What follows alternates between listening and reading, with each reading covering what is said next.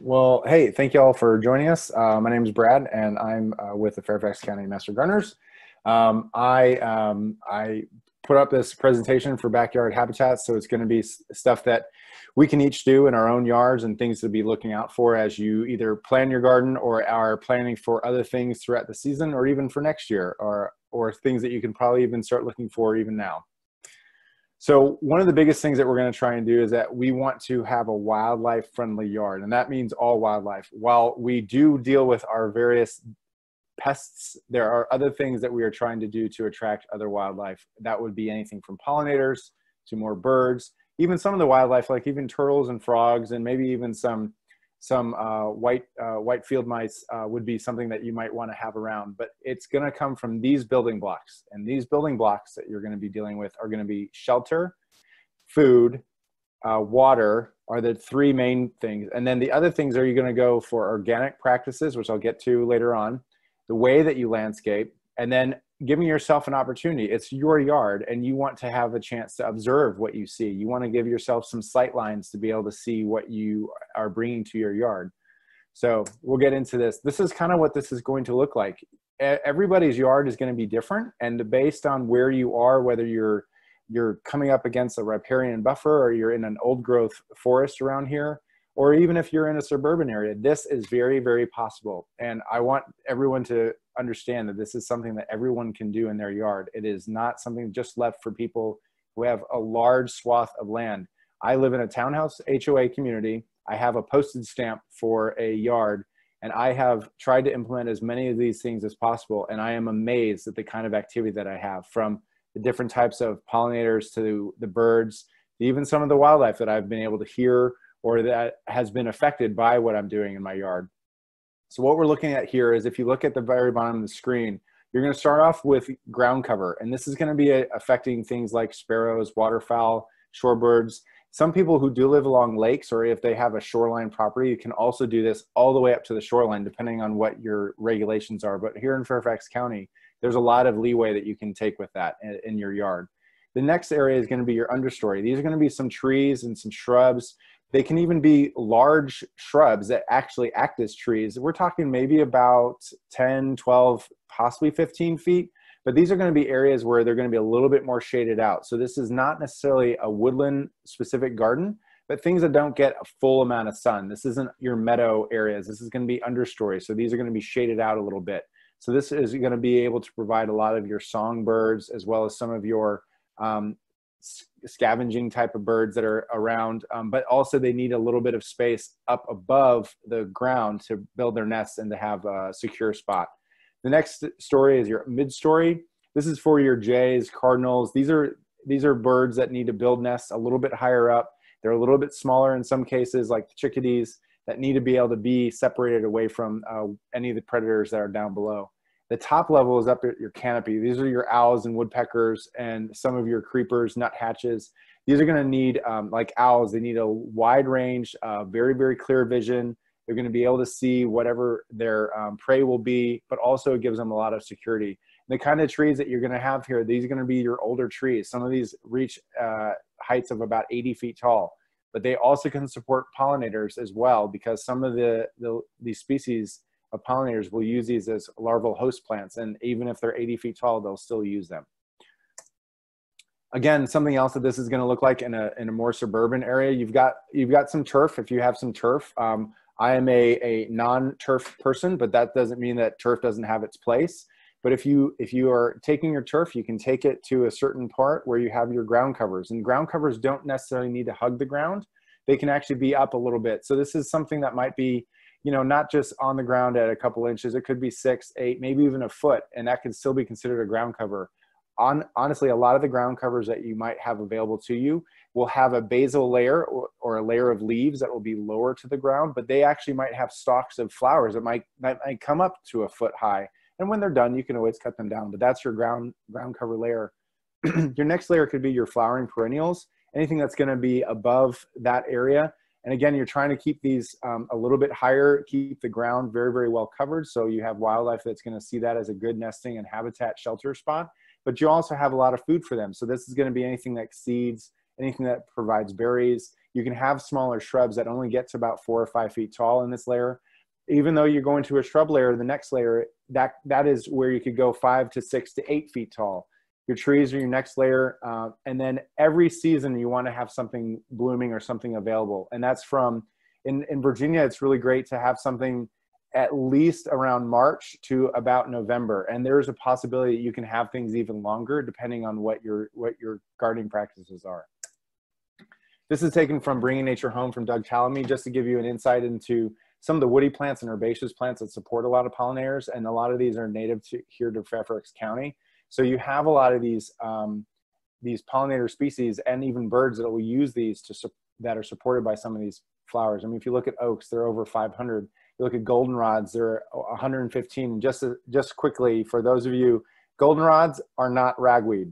Goldenrods and ragweed come out about the same time, but any of you those of you that have seasonal allergies, it's more than likely the ragweed because ragweed falls um, spends their pollen through wind, and goldenrod is too sticky. It it has to stick to things, so it's not the goldenrod, but they're a fantastic plant your aster family, your sunflowers and the herbaceous side, and then going over to your willow, your birches, um, crab apples, blueberries, they support a significant amount of pollinators. And these are all great plants that you can plant in, in your landscape.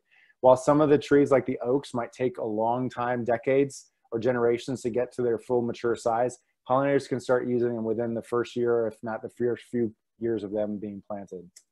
So what we're gonna jump into now is food. So every everything that you wanna bring into your landscape for supporting wildlife, they're gonna need food. This goldfinch is seeking out some seeds goldfinches seem to be one of the few bird species that can actually feed seeds or seed types of foods to their young. So when you see them in your yard, you're going to be leaving some of these um, seed heads up in the fall. You can even leave them up in spring. You don't have to clean up everything. If you can leave some areas around your yard or be accepting of some areas around your yard, you don't have to even put up uh, bird uh, bird feeders, which will help, but you don't always have to.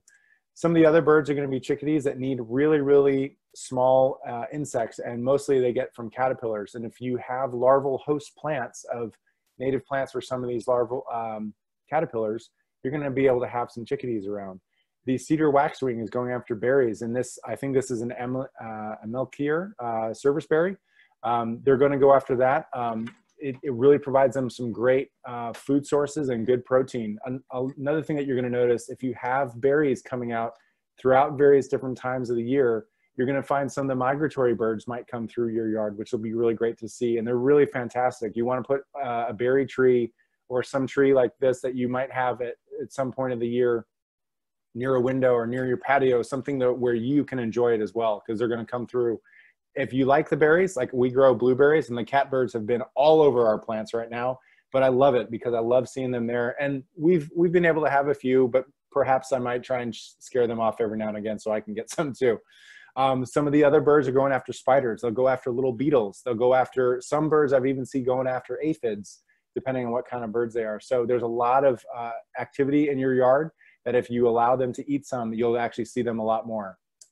Um, some other foods, again, the goldfinch is going after seeds of the purple coneflower. You even have some woodpeckers going after sumac.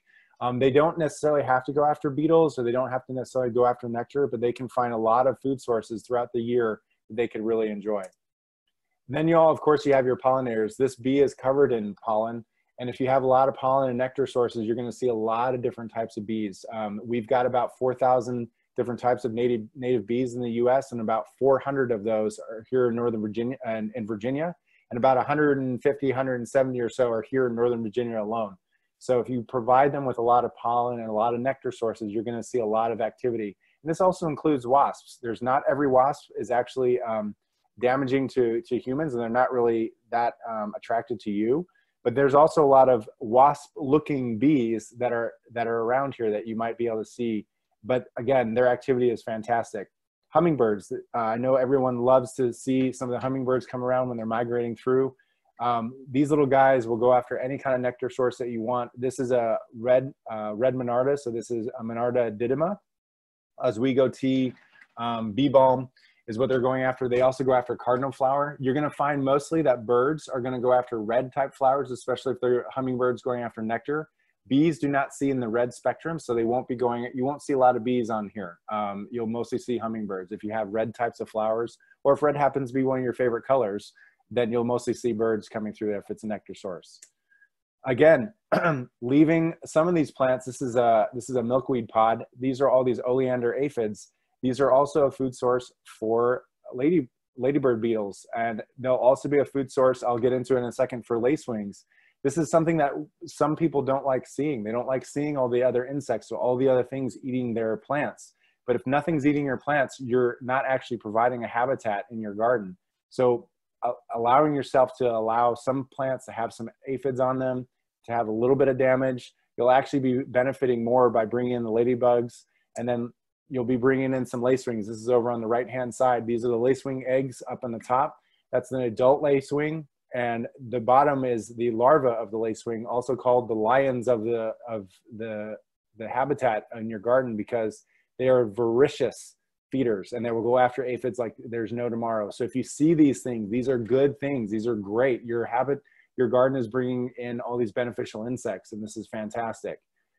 I, unfortunately, it's a honeybee that got attacked by either a assassin bug or maybe a spider but this is also great too. If you've got spiders in your yard, they actually need food too. Birds will come after them. Birds will go after lacewings. Birds will go after ladybugs. So you'll be bringing a lot of birds and you'll just continue to support this life cycle. there you got a garden spider on the left and then a praying mantis. If you can kind of see it in my garden right here, there's a praying mantis that's looking for its next prey. It's sort of hidden underneath the leaves, but these are fantastic um, beneficial insects that you can bring in your garden. Next thing that you want to be able to provide is water. Water is a great source, especially when it gets hot out. You want to be able to provide water not only for the birds, but also for the bees. I've even seen some chipmunks and squirrels come to my little bird bath that I keep on the, on the patio. Um, and they just want to come because they're also thirsty. Um, water can take many different forms. This is a very formal, very set up pond-like um, water source the birds and uh, the bees will also be able to use this as well as any other butterflies that might need it. Now, some people might worry about mosquitoes, but one of the things that someone can do here is that if you're inviting the type of habitat that you want, you'll probably have frogs in here, or you might even have some, some toads that might come by and skirt around the sides. You could even have other birds that are going after, especially you'll have uh, dragonflies and dragonfly larvae go after mosquito larvae. Um, you can always put BT dunks. Those are some uh, bacillus dunks that you can put in here if you're really that concerned with it. But having a having a pond source like this isn't necessarily a bad thing, but it also provides a lot of water for the habitat that you're trying to create. It can be a small pond. It can be something just right off the side of your property. It could also be a, a rain catchment area that you actually purposely want to keep the rain water there if you even wanted to throw in a few goldfish, you can throw in a few goldfish here. Again, I wouldn't say releasing them into a lake or anything like that, but if this is in your own property, you could release goldfish and they'll go after the mosquito larvae as well. It can also be very small. This is another small little rain catchment that was built up in a small area. There's not a lot of space, but there's something that you guys you can use in a, in a garden or have an idea for another type of water catchment. And you can always go for a bird bath. Um, uh, the different kinds of birds will love it. They'll love cooling off. They'll love cleaning themselves as they try and prune, but they'll also love it for getting some water when they really, really need it. The bees also need some water. This is a way to provide really, really um, good water sources for bees. You need to put some rocks or something that they can uh, sit on to get the water because sometimes they can get in there and they might drown if they didn't have anything to crawl out of. So providing this super inexpensive. It's really like I've even used uh, chopsticks that I didn't use from a Chinese takeout and put it in my uh, little uh, small little bird bath so I can have something that uh, insects can crawl onto. Or it can be a little pie pan that you're not using uh, anymore with a few rocks in it, or you can put some sand or some gravel in there that you might have. Anything that you have that's even um, sticks or twigs from uh, a recent pruning that you've done. The next thing you want to provide is shelter. Now you could go really wide range and have something like a pollinator house uh, Airbnb uh, if you really wanted to. Uh, some of these things uh, don't really necessarily provide the best habitat, but if something is, if you have an area in your yard and you can provide something like this, this is great. This gives a lot of nooks and crannies and a lot of things that they can burrow into, they can run, they can hide into, they can make nests into, and they can start the new generation. But these kinds of shelters are going to be something that they can uh, they can hide from predators. It can be something where they can seek shelter from the weather if they need to. a place to, for ground nesters to nest. So leaving some of that extra um, extra pruning to when the season is over, or if it's a migratory birds, if you can wait until fall to prune those out, or if you can wait to pick up the leaves until springtime, that's also great ways that you can help these ground nesters out. And that goes for insects too. There's a lot of insects that use the ground to nest as well. And then also a place in winter to find hiding spots. So once all the leaves are gone, there's birds that stay around here all year round. Cardinals are one of those. Providing them a little space in your yard that is a little bit uh, not uh, not so pruned up and kempt will provide them a great habitat uh, when the when the leaves are gone habitat isn't just above the ground it's below the ground too. We have this amazing ecosystem that's down in our soils. And if you can help them out by providing them leaf litter by providing some um, just ways that they can actually move in and out. I know i hate i hate slugs on my vegetable crops uh, just like the next person but if they're there that means that something else might be able to eat them. If i don't get a lot of snails but i do get some uh, centipedes and some millipedes but I love this, seeing this kind of activity. Um, if you can dig in the ground and you see some worms, that's also a really great thing. You can encourage them to be there by leaving some of your plants just sitting there. Now, if it's diseased and you had to prune, prune it out because of a fungus or something else that was going wrong, then we then we really would recommend that you remove it. But you could also leave some of this there. Some of these other shelters can be something like broken up pots. You don't always need to throw them away. You can just throw them in your garden, and who knows, might might use them. Uh, frogs will use these, but essentially it gives them a place where they can feel secure. And it can be as simple as, as just putting it in your ground and just letting the mulch and letting the dirt over time just kind of fill in.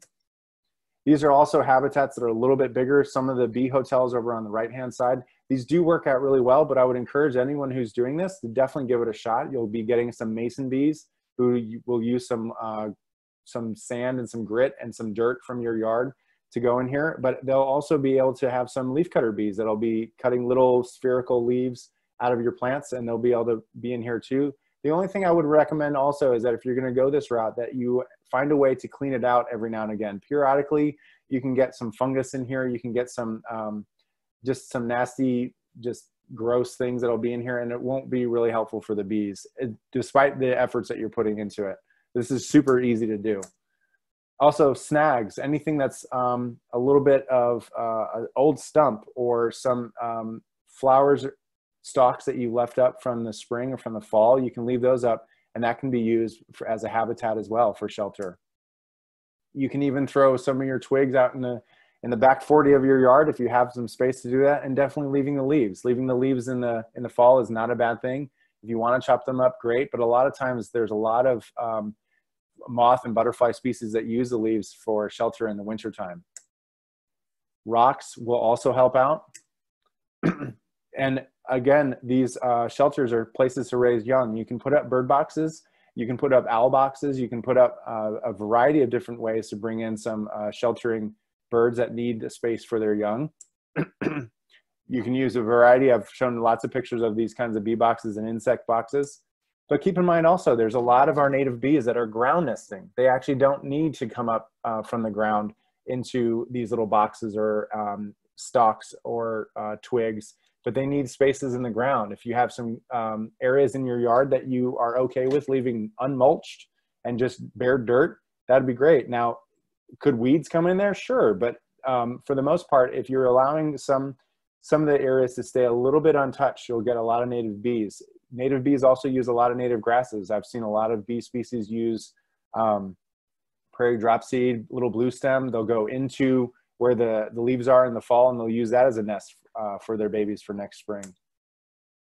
Again, leaves, recognizing also that some of these some of these nesting sites are really really tiny. This is a hummingbird nest down in the bottom right, and that's a that's a, a dollar or a, a quarter that's right next to it.